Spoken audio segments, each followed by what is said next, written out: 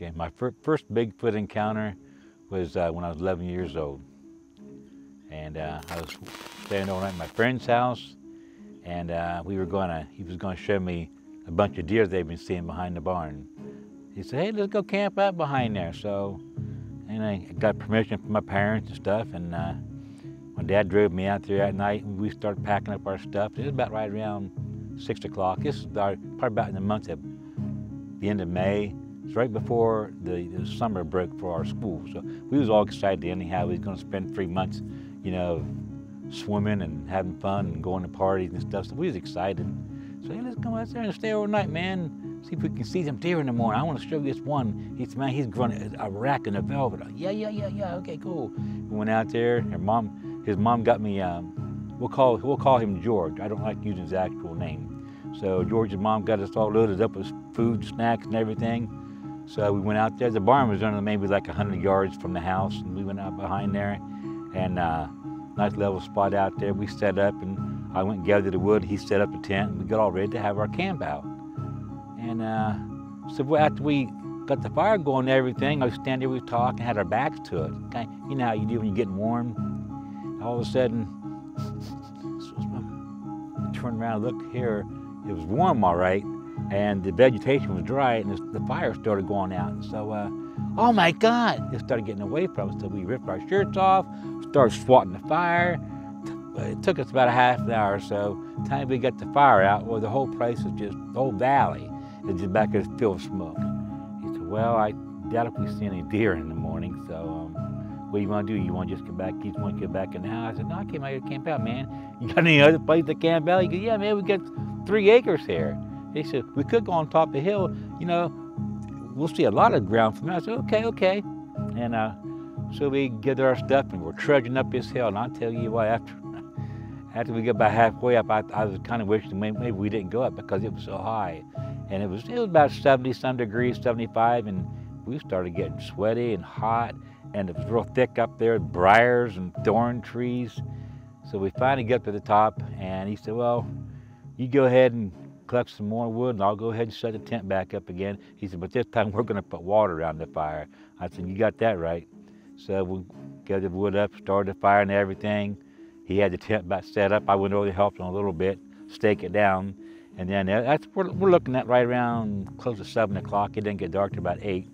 So uh, we're sitting around the fire and we're talking. We got our food out and started roasting our, our hot dogs and hamburgers, marshmallows, whatever. So we, you know, and it got to be around 10, 11 o'clock, so by now it's dark, and we're telling stories, you know, cutting up and talking about kids in school.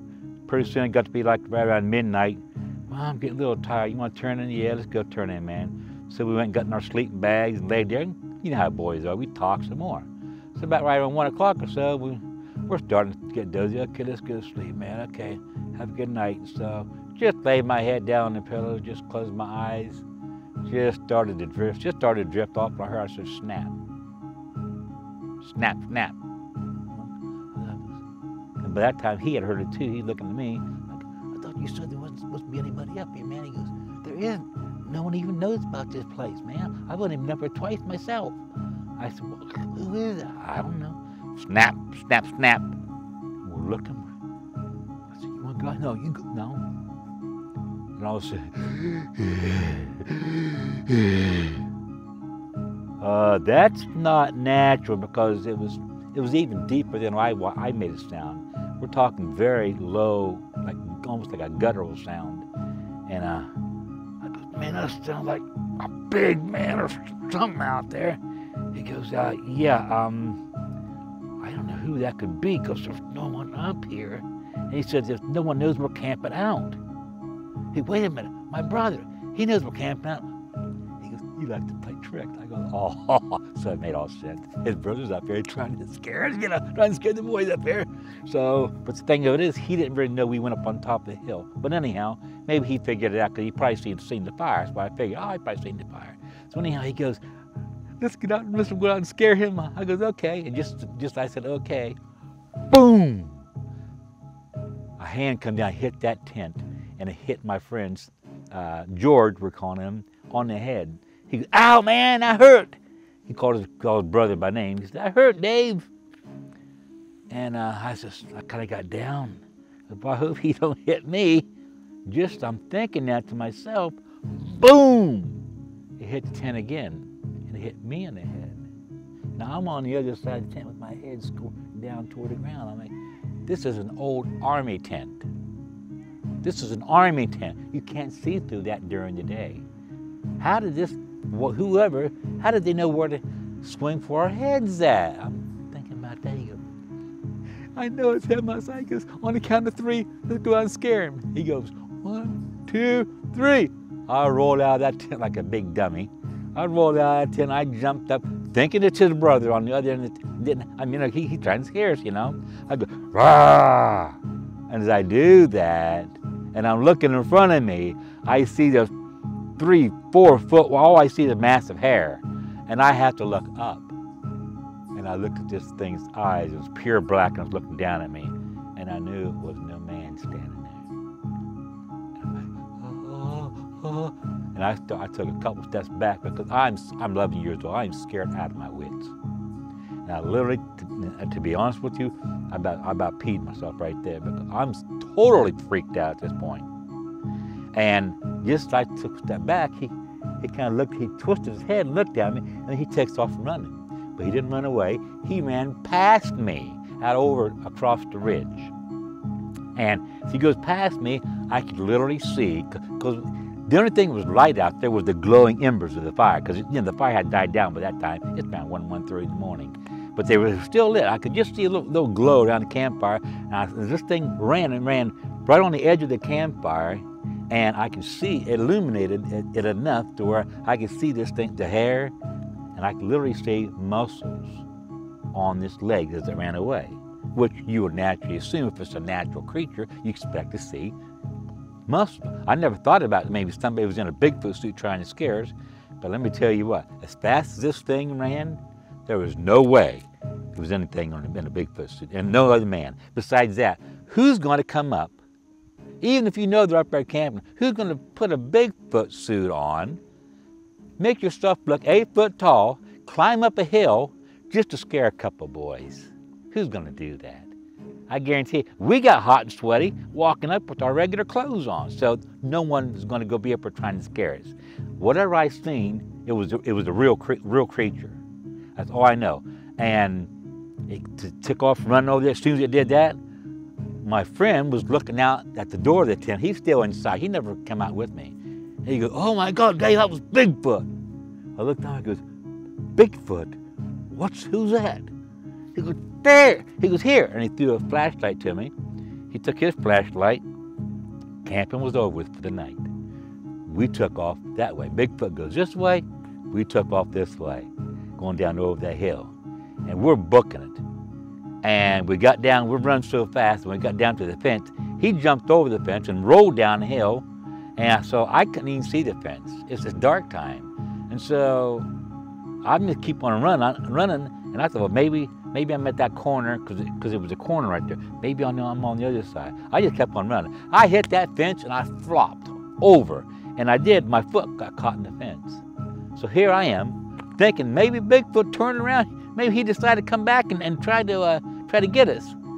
And I'm trying to pull my foot out of that fence. And I couldn't do it. And so finally, I, I, pulled my foot out of my boot that I had on. I pulled my foot out, and I ran back to the house, one one boot on, and, and, and a pair of socks, and I'm, I'm running back. I didn't care.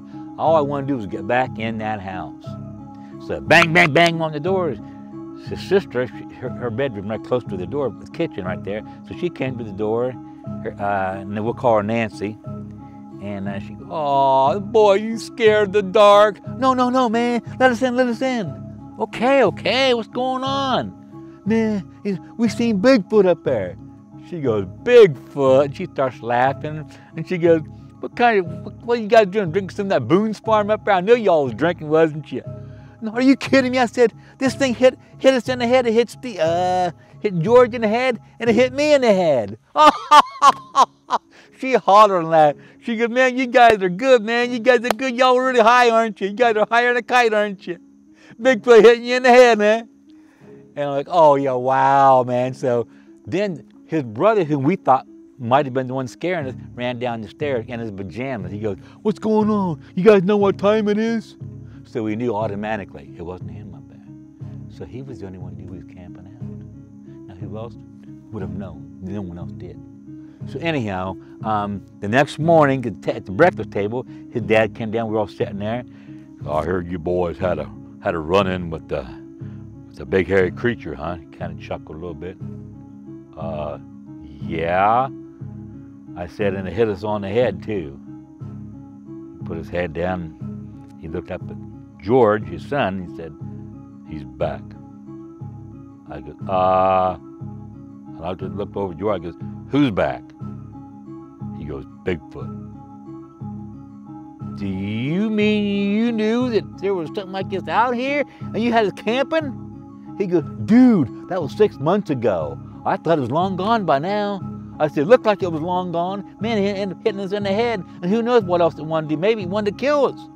I said, what the hell? If I knew that was that, I, said, I wouldn't um, coming out here camping. He goes, settle down, Dave, settle down. It's okay, it's okay. He said, uh, you boys feel like going up there and checking the place out. And besides that, we got to get, get the tent and your stuff up there too.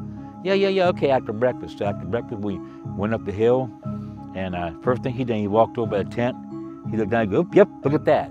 The old 15, inch, 15 16 inch track, about, about seven, eight inches wide, had three toes at the end of it, which I, I, I find out through, you know, through the years, I found out that's kind of unusual. Normally there's like they say five toes, but this had three toes. Well, we have five. I don't understand why there's three toes. Dude, it's a creature of some sort. Yeah, I got it. I got that. So um, my dad came and came and got me. I, I told him the story. He didn't believe me. He didn't believe me at all. But anyhow, let me finish the story of being on top of the hill. We followed the tracks. There was 12 of them. He had me lead because he seen, I knew I seen where it went. So I'm following the tracks and they're about like maybe seven, ten feet apart. And they're about oh, in the ground between around an inch and a half, maybe two inches a certain place, depending on the hardness of the ground. And, and as I went across, and I got to the last track, and where there's supposed to be, there's, there's still, it's an old logging road, and there's more path to go. Track stop. Uh, there's nothing to the right or the left. There's ne definitely nothing ahead of us. I look back, just following the same tracks. That's all there was. Now, my mind's trying to correlate, where's the next track at? So I said, uh, he's Dave, is there a problem? I goes, yeah, there's a problem. He goes, what? I goes, there ain't no more track. He, what do you mean there ain't no more track? So he came, he's about like maybe five, six yards behind me. He walked up and looked at, look, he was looking over, he goes, what the? uh, He's looking around. He said, boys, just span out. We're going to try to see where, the, where this thing went. We went on circle 20, 30 yards. Couldn't never see nothing. Well, there was one tree, maybe it jumped into a tree. But the nearest tree was about 20 feet away, and it was only about this big around. And there was no marks on it, nothing. Just, just, just looked like any tree that you would see in this, this wood back here. No indication that, that thing you know, jumped anywhere or jumped to a tree or nothing. So I said, what do you make out of that? He looked, he bent down and got on one knee, and I'll never forget the words he said. He goes, boys, I've been hunting these woods ever since I was knee high to grasshopper, and I've never seen nothing like this. He said, but one thing I do know, tracks don't lie. And those words stuck in my mind for, up to this, this day, 40, 50 years from that And all during this time I've been trying to think, what is this? What is this creature? And where did it where, where did it come from? How did it get here? What's it? I don't understand. I always thought, you know, the Bible tells us was God made man and woman in the Garden of Eden. He made Adam and Eve. He didn't say anything about making Bigfoot anywhere.